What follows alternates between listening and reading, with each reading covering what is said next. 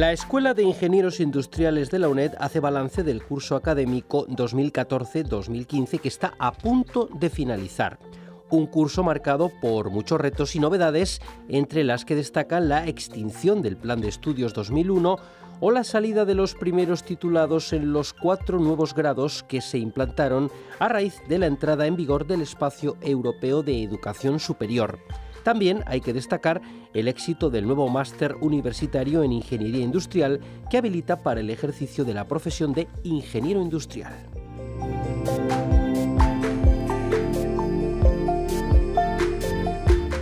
Este curso, la Escuela de Ingenieros Industriales ha cumplido 40 años desde su creación. Diversos actos se han organizado para celebrar este aniversario. Hoy nos acompañan tres subdirectores de la escuela para comentar todos estos aspectos y ofrecer unas interesantes orientaciones a nuestros estudiantes.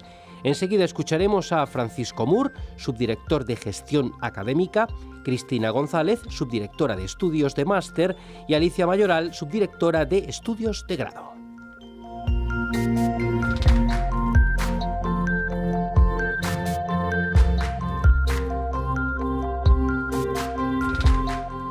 Estamos aquí, eh, un conjunto de, subdirectores de la Escuela de Ingenieros Industriales, eh, para hacer un poco el resumen de lo que ha sido este año eh, dentro del curso académico 2014-2015 que estamos ya próximos a, ir cerrando. La verdad es que todavía quedan las convocatorias de septiembre, que son ah, evidentemente el cierre real del curso pero por hacer un poco el análisis y el balance y, dar novedades de cara a los cierres próximos, pues nos hemos juntado aquí eh, Cristina y Alicia y yo mismo pues para, comentaros un poquito las cosas.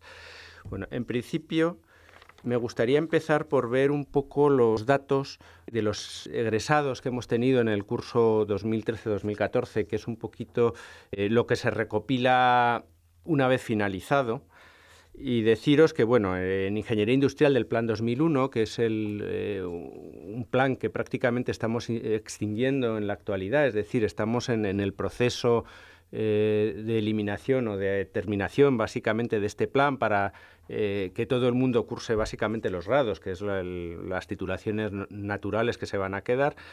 Decir que, que este año 2013-2014 eh, eh, tuvimos 598 estudiantes. Este año propiamente hemos bajado a 378. Lógicamente estamos eh, reduciendo las, las cifras. De estos 598 tuvimos sobrepresentados una tasa de egresados del 68%, lo cual está bastante bien. Y afortunadamente la gente va terminando. Hay que decir que se van a ir, lógicamente, dando facilidades para permitir la terminación y la finalización razonable de estos cursos. Quiero decir, el, curso 2015-2016 que vendrá a continuación, evidentemente ya será un curso en el que se va buscando la, finalización y en el que eh, básicamente los exámenes ya no van a estar dentro de los calendarios normales, sino que os encontraréis que que eh, todos los exámenes estarán agrupados en la convocatoria de febrero y a partir de ahí además podréis hacer eh, el proyecto fin de carrera, digamos, independientemente un poco de las asignaturas que os queden. Digamos que se va a ir dando facilidades para ir agilizando, digamos, la terminación eh, satisfactoria, vamos a decir, de los estudios de, ingeniería industrial dentro de la extinción del plan que tenemos. básicamente, en cualquier caso, lo que son los calendarios de finalización, casi os recomiendo que consultéis eh, la web nuestra o la web de la UNED y lo busquéis, porque esto es una cosa que, bueno, eh, un poco dinámica. Quiero decir, aunque ahora mismo hay unos plazos establecidos, indudablemente eh, la información actual, última, la vais a encontrar siempre en la web, con lo cual yo creo que es recomendable buscarla ahí no comentar algo ahora que pudiera tener algún error probablemente.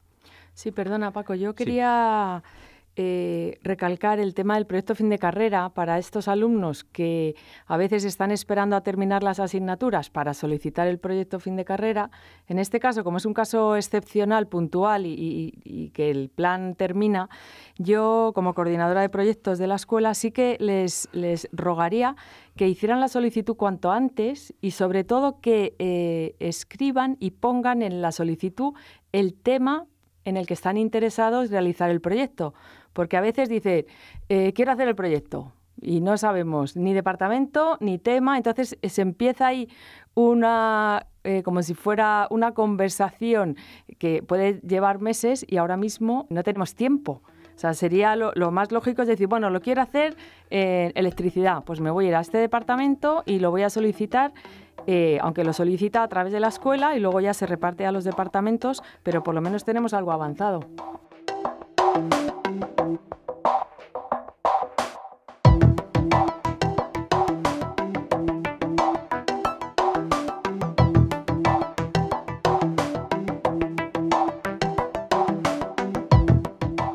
Saliendo ya las titulaciones que están funcionando, he recopilado un poco los datos de egreso de los cuatro grados que tenemos en la escuela del año pasado, que son muy bajitas, pero no porque sean malas, porque las tasas de egreso en las estadísticas que tenemos son relativamente buenas, sino por un problema eh, básicamente de que estamos empezando a, a tener titulados, en fin.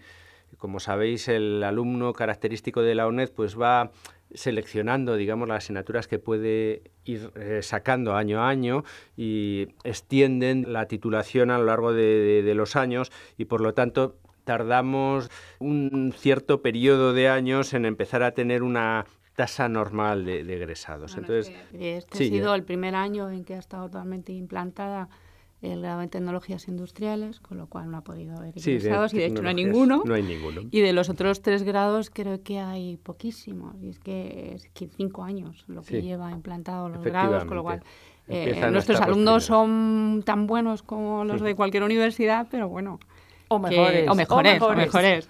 Pero bueno, que no, no ha habido tiempo material para, para que estos datos mm. sean significativos todavía. No mm. ha corrido, no, no, ha, no ha avanzado lo bastante la implantación, yo creo. Es un poco pronto.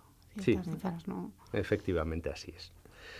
Sí, eh, por último, eh, dentro de este capítulo comentar los, los cuatro másteres que estaban funcionando el año pasado. Este año tenemos un máster nuevo que comentará Cristina concretamente, que es el máster oficial, digamos, el que tiene atribuciones, que ha empezado a funcionar este año, yo creo que con bastante éxito, sobre todo gracias a los esfuerzos de nuestro equipo directivo. Gracias, gracias. Bueno, en principio de los cuatro másteres que tenemos oficiales de la escuela, hay un evento que sucedió el año pasado y es que fueron acreditados. Pasamos la, evaluación de estos, de estos cuatro másteres y afortunadamente, bueno, en un proceso que es relativamente largo y que, y que requiere, en fin, reunir bastante documentación además una serie de de encuestas y de entrevistas y de interacción pues, con alumnos, con empleadores, con empresas, con, con distintos organismos, eh, para los cuales incluso eh, llamamos a algunos de, vosotros, de los alumnos, para que vinierais a participar en esta evaluación. Digamos, después de todo este proceso llevado a cabo dentro de los organismos del Ministerio, la NECA concretamente, pues han sido evaluados positivamente los cuatro másteres que estábamos llevando, el máster universitario en investigación en tecnologías industriales, el máster universitario en ingeniería del diseño, el máster universitario en investigación en ingeniería eléctrica, electrónica y control industrial y el máster universitario en ingeniería avanzada de fabricación. Con lo cual, bueno, pues tenemos unos másteres ya acreditados, evaluados por unos años y que eh, digamos, satisfactoriamente funcionando y espero que así sea también para los alumnos eh, que van eh, saliendo egresados dentro de estos másteres, que también tienen una tasa de egreso bastante alta.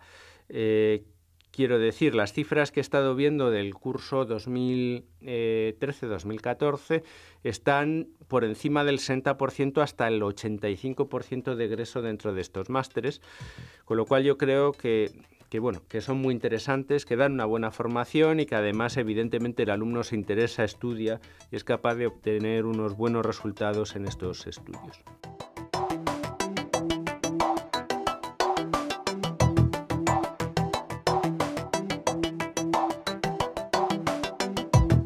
Pues sí, la verdad que estamos muy contentos por la acogida que ha tenido este máster en nuestros alumnos.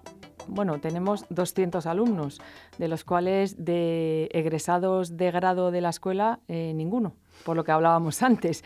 Con lo cual, estos 200 alumnos de fuera, eh, pues es una cosa muy buena y muy bonita ¿no? para la universidad, el poder dar a estas personas, que sí que es verdad que algunos vienen de otras titulaciones de la universidad, de la UNED, de nuestra universidad, pero no de la escuela. Entonces, sí que es interesante el ver esta acogida que ha sido el primer año, que ahora este segundo año que acaba de comenzar el, plazo de preinscripción, pues ya llevamos 60 preinscripciones.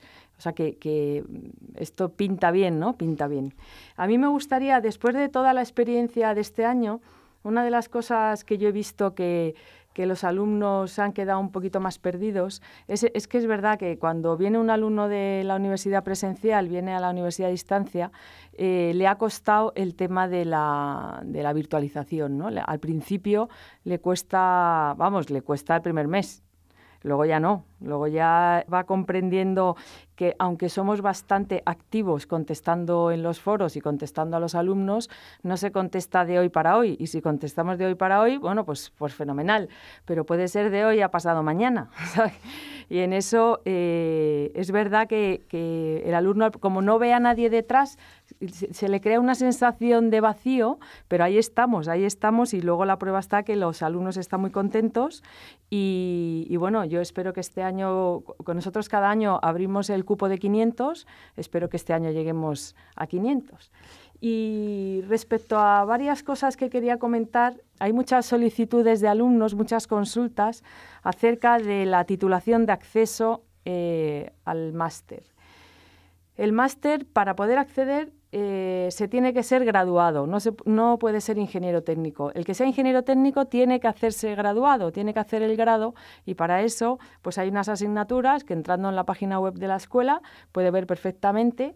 Eh, son unas asignaturas que en el momento que las curse tiene el título de grado y ya puede acceder al máster. Por eso eh, así viene escrito y viene descrito en el, en el plan de estudios y viene también en la página web del máster, que yo recomiendo a todas las personas interesadas en matricularse o en hacer la prescripción que lean detenidamente eh, todo lo que viene porque todo lo que viene explicado porque eh, es, un plan de estudios un poco complicado no hay 48 itinerarios y depende del grado en el que accedas pues luego hay seis grados de acceso y ocho especialidades con lo cual son 48 posibilidades que a veces es un poquito fácil perderse. Sí un comentario Cristina eh, en este tema efectivamente ahora estamos en el periodo de, de prescripción y eh, me han comentado que concretamente para el tema de la pasarela esta que estamos haciendo, este año no va a haber que hacer prescripción, sino que va a ser una matrícula directa.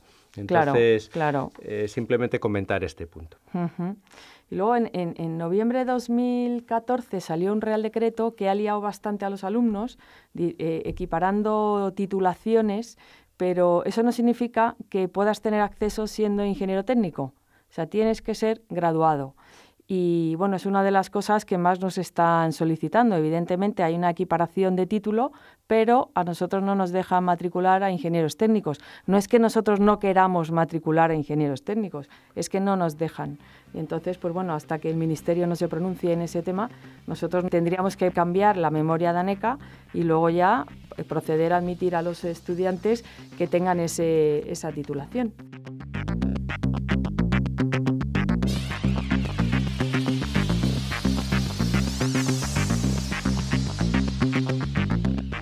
Primer lugar, bueno, pues felicitarnos, estamos casi en los 5.000 matriculados en los grados, que yo creo que es una, cifra bonita, que espero que, el año que viene eh, podamos eh, sobrepasarla y mucho. Pero eh, yo estoy muy preocupada, es decir, yo admito que soy preocupona y como soy preocupona, pues estoy preocupada. y os cuento, bueno, si nos paramos en ver las cifras, que como buen ingeniero soy muy de cifras, pues veo que las tasas de evaluación, es decir, el porcentaje de alumnos que se matricularon en una asignatura y se presenta es bajísimo. Es decir, estamos hablando que menos de un tercio de los alumnos se presentan a examen. Eso quiere decir Malo para nosotros porque evidentemente nos da una imagen horrible de malísimos profesores, cosa que es falsa, como todos sabéis. Y por otro lado son matrículas 2, 3 y 4, que significa un sobrecoste para los alumnos, con lo cual nadie gana. Es decir, y además esos alumnos muchas veces se ve frustrado y abandona. Entonces nosotros que somos preocupones y también somos ocupones, pues hemos tomado eh, medidas, es decir, medidas que espero que, las uséis. Es decir, hemos generado en la página web, que podéis acceder a través de la página de la escuela, un programa de acogida. Y este programa de acogida intenta eh, atacar lo que creemos que son los puntos críticos o el problema que tenemos. Nosotros pensamos, y pensamos por números, porque somos ingenieros, que, el problema principal está en los alumnos que, acceden por primera vez a la UNED que están bastante perdidos. ¿Y por qué lo pensamos? Porque si miramos las tasas de evaluación, es decir, esos alumnos que sí se presentan a examen, el primer curso es que baja un cuarto, es decir, estamos en un 24% de alumnos, solo uno de cada cuatro alumnos matriculados que acceden por primera vez a la UNED se presenta a examen. Y bueno, reflexionando sobre esto, eh, pues hemos estado mirando cuál era la procedencia de sus alumnos que llegaban por primera vez a, la UNED. Y claro, la UNED es una universidad muy peculiar, es decir, nosotros damos un servicio muy amplio a alumnos poco convencionales. Entonces eso nos lleva a que tengamos alumnos que proceden del curso de de acceso, el curso de acceso, alumnos para mayores de 40 años, etcétera, etcétera, que por cierto son los que tienen las mejores tasas de evaluación, y os felicito, alumnos que provienen de planes de estudios de formación profesional, etcétera, etcétera, que tampoco van mal, ¿eh? Y alumnos que no les fue muy bien en selectividad, que no iba bien, y luego tenemos alumnos que llevan muchísimos años sin estudiar. Entonces, recoger todo eso, ¿qué nos lleva? Un problema de nivel. Tenemos muchísimos alumnos que acceden a la universidad con un nivel que no es el adecuado para afrontar la asignatura.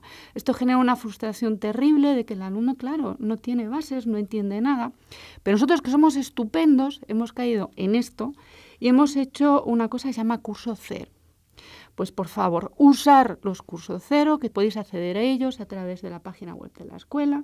Son cursos donde podrás evaluar si tu nivel es el adecuado, tanto en matemáticas, física y química, y en el caso de que no lo sea, te va a hacer recomendaciones para que tu nivel sea el adecuado.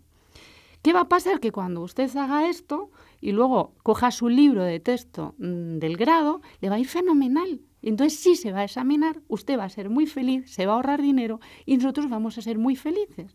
Con lo cual yo creo que esto es una de las cosas que es importante para la escuela, estos cursos cero. ¿Qué más hemos pensado? Porque nosotros pensamos muchísimo. Pues hemos pensado que el alumno es muy optimista. Entonces llega la hora de hacer la matrícula y se matricula en todo. ¿Qué pasa? Que luego la vida, la vida real es bastante más complicada. Y uno, pues, eh, compaginar en muchos casos la vida profesional, familiar y estudiante, pues es complicado.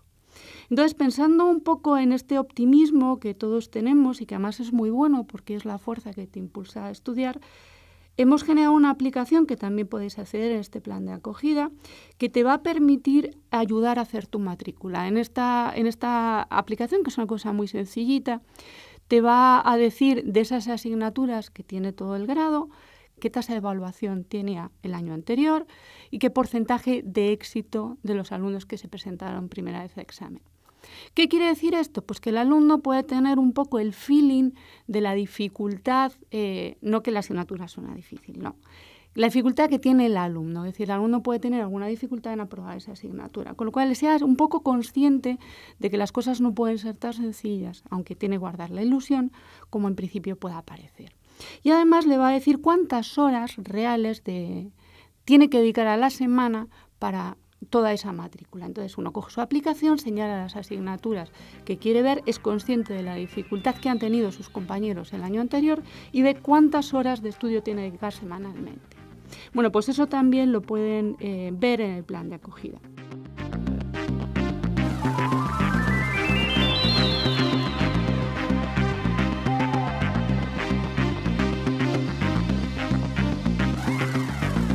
Por último, eh, estamos en un plan piloto, nada más que para el lado de tecnologías industriales, que es el pequeñito, y hemos empezado por ahí, que tiene dos cositas.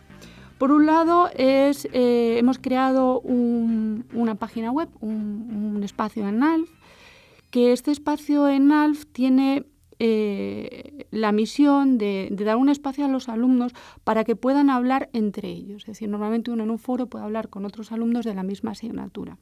Bueno, pues en este caso no, pueden hablar todos con todos. Y, bueno, para eso lo hemos hecho, para que podáis eh, transmitiros eh, esas cosas que, que, de otro modo pues, pues no, no podría ser. Y luego pues tenéis un enlace directo conmigo para que me digáis cosas que además uno de los problemas que, que tiene esto es que como nosotros estamos al otro lado, que vosotros seguro que estáis de acuerdo, solo tenemos la visión del profesor, pero no tenemos la visión del alumno. O del alumno que protesta. Pero no del alumno que está contento y del alumno no, o que hace propuestas constructivas. una propuesta de mejora. Bueno, ni os imagináis lo que ha crecido el Estado espacional, que era una cosa miserable, pues con poquitos alumnos, porque la verdad es que estoy muy triste porque no entráis, pues ya tenemos eh, pues un montón de enlaces nuevos, hay impresos, hay, es decir, está creciendo. ¿Qué es lo que quiero? Que por favor me escribáis y me hagáis propuestas. Todo lo que digáis se genera. Y bueno, y el último dentro del programa piloto, el último que hemos preparado es lo que se llama el alumno mentor. Este alumno mentor que todavía lo estamos perfilando entre todos y por eso en el foro también me estáis dando sugerencias de, de cuáles son sus funciones, pues es un poco para auxiliar al alumno. Es decir, muchas veces yo creo que el alumno que entra por primera vez en la UNED se encuentra perdido. No sabe dónde están las cosas, no sabe qué encontrar, no sabe qué matricularse, si es fácil, si es difícil, dónde tiene que ir. Pues el alumno mentor es como ese alumno del año anterior que uno se encuentra en la cafetería y te dice cosas. Pues ese es el programa. Entonces, eh, esperamos poder ofrecer alumnos mentores y esperamos que os ofrezcáis como alumno mentor. ¿Qué tiene de bueno? Pues yo creo que todo el mundo se beneficia porque el alumno que hace esa labor de mentor eh, está desarrollando actividades de dirección, de trabajo en grupo, de colaborativo, que se supone que lo estamos dando y yo creo que no estamos dando tanto. Y bueno, ya no os cuento más. Por favor, colaborar con todas las muy interesante actividades. y espero que haya alumnos que entren como, como mentores, efectivamente. sí, sí, bueno, una cosa, una cosa, ya te dejo. Eh, mecanismos de seguimiento. En la NECA, que estamos intentando pasar ahora el grado de tecnologías industriales y el año que viene van a ir todos los grados, una cosa de lo que más eh, importancia da son las encuestas. Es una vergüenza. Una vergüenza porque... Eh, los test, en, solamente en tecnologías industriales, los alumnos que han contestado han sido 164 de 3.500. Por favor, si yo quiero que esto se haga obligatorio. Los tutores yo creo que son los mejores, 251 de los 673 tutores que tenemos. Entonces, por favor, participar en los mecanismos de seguimiento de las encuestas es la única vía que tenemos para que nosotros que solo tenemos la visión del otro lado podamos hacer cosas, si no vamos a ciegas. Solamente puntualizar que esto efectivamente de cara a la evaluación de los títulos y el seguimiento de los mismos es de una tremenda importancia. Eh, porque es externamente como por lo que nos miran fuera, con lo cual es importante que haya opiniones en todos los sentidos. no solamente cuando uno se enfada, que está muy bien y que tiene que estar ahí, sino, en fin, por, por aspectos positivos, por aportaciones constructivas o, en fin, cualquier cosa que se pueda dejar. Dos cosas. Una, al alumno que escribió las encuestas, esto es una mierda, que nadie se lo lea, que sepa que me lo he leído. y dos, eh, necesito voluntarios para que sean entrevistados por la NECA. Entonces, todo aquel que se quiera presentar como voluntario para que en su papel de alumno nos evalúe, por favor, se ponga en contacto conmigo.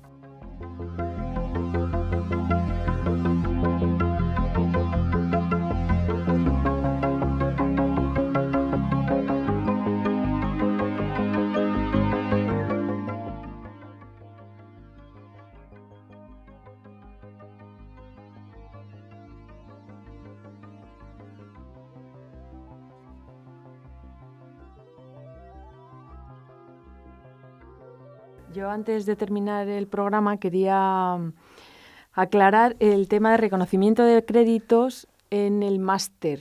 Todo viene en las instrucciones de la página web de la escuela. Cuando entráis en la página web de la escuela, a la derecha de la pantalla viene reconocimiento de créditos máster. Ahí viene todo. Eh, aunque a veces lo leéis y, y, a lo mejor es que no está bien escrito, hay un tema importante que son los créditos de sustitución y los créditos sin que no son de sustitución. Pero bueno, me voy a centrar en los que no son de sustitución porque viene un poco a colación con eh, la titulación del Plan 2001. ¿no? El Plan 2001, para, espero que haya muy poquitos, pero aquellos que no puedan terminar la carrera de Ingeniería Industrial del Plan 2001, que no tiren la toalla, que pueden hacer la conversión al grado y, y luego sí que se le pueden reconocer créditos de asignaturas no de grado, pero sí de la, de la carrera de ingeniero industrial, porque al fin y al cabo el máster oficial, el máster universitario en ingeniería industrial es la misma titulación. Entonces sí que hay asignaturas que se convalidan directamente. O sea que en eso yo animo a los alumnos que están un poco perdidos o que piensen que ya no van a acabar, pues que miren esta alternativa. Bueno, yo una última cosa que yo creo que es importante y es el tema de los 40 años de la ingeniería industrial en, la, en la UNED, en la, escuela que tenemos. Sí, efectivamente, tenemos este año un programa de actividades en el cual, en fin, ya se han desarrollado unas cuantas, eh, de las cuales pues se hizo una, bueno, una en la, en la escuela, en el fondo, con los reconociendo a los directores de, de la escuela que ha habido a lo largo de los años. Hemos tenido otra en el Centro Asociado de Madrid y que fuimos a visitar la fábrica de Mao y tuvimos unas charlas con, con ah, egresados antiguos alumnos que eh, ya titulados que están colocados y que creo que fueron muy interesantes y con el Colegio Oficial de Ingenieros Industriales de Madrid, con la decana que nos dio una charla tremendamente interesante. Y todavía, lógicamente, esto es lo que ha pasado, pero quizás lo más importante en este momento es anunciaros lo que tenemos por delante, y es que tenemos otra jornada eh, prevista en Mallorca con la misma estructura, básicamente, la que tendremos una charla pues con, con alumnos que han acabado, o sea, con egresados, eh, tendremos una charla con gente del Colegio Oficial de Ingenieros Industriales de allí de Mallorca y tendremos alguna visita a un parque tecnológico de energías renovables por allí que yo en fin, eh, lo que incito un poco es a que os apuntéis, son temas muy interesantes, vais a tener contacto con, con gente que, que, es ingeniero industrial, que ha acabado la carrera, que ha pasado por donde vosotros estáis y que además os van a asesorar un poquito desde lo que os vais a encontrar después en el mercado, como son los colegios de, de ingenieros, que pueden contar un poquito. Y además de créditos. Y además da créditos, pero bueno, que eh, podéis preguntar en vivo y, además vais a obtener respuesta de gente que tiene experiencia en ese campo. Eh, en cualquier caso, ¿tenemos alguna actividad más prevista para... A la vuelta. A la vuelta. Eh, lo que teníamos eran unas jornadas que también son muy interesantes, que, en la que vamos a realizar una especie de mini congreso. Exacto en la cual, bueno, pues vamos a invitar a gente que ha presentado recientemente los proyectos fin de carrera, pues para que, eh, digamos, haga unas presentaciones de sus trabajos de cara al resto del alumnado en donde serán unas jornadas en las cuales pues eh, esperemos que estén eh, la, bueno lógicamente la escuela estaremos estarán los centros estarán los empleadores y las empresas básicamente y en la cual, pues bueno, esperemos que haya eh, pues eh, una interacción también, que haya preguntas, que sea una jornada viva en la cual, en fin, podáis asistir, por favor, venid, creo que es también muy interesante y que podáis tener una experiencia de, en fin, pues un poquito de, en este caso, desde la finalización de la carrera para ver los proyectos fin de carrera. Hombre, dar valor a un trabajo, porque los proyectos fin de carrera en muchos casos son trabajos muy valiosos y yo creo que incluso la presentación que puede hacer ese alumno delante de empleadores de empresas, que esperemos que haya muchas, muchísimas y consigamos engañar a mucha gente que venga, pues también une un poco lo que es el mundo de la empresa y el mundo del alumno. ¿Y en qué foro? Pues en el universitario. En el universitario somos investigadores y los investigadores lo que hacemos pues es eso, congresitos. Y entonces es nuestra manera de que el alumno, aunque sea una sola vez en su vida, pues tenga en contacto con lo que es un congreso, que es hacer su póster, su presentación y defenderlo. Sí. Bueno, muchísimas gracias. Yo creo que nos habremos dejado un montón de temas que podríamos haber seguido tocando, pero bueno, por hoy ya hemos terminado con esto. Pues aquí tenemos que cerrar este programa que ha pretendido hacer un balance del curso que ya termina para la Escuela de Ingenieros Industriales de la UNED, además de avanzar algunas cuestiones importantes de cara al curso que se iniciará tras las vacaciones veraniegas. Gracias a los tres subdirectores de la escuela por acompañarnos, Francisco Mur, Cristina González y Alicia Mayoral. Hasta una próxima ocasión.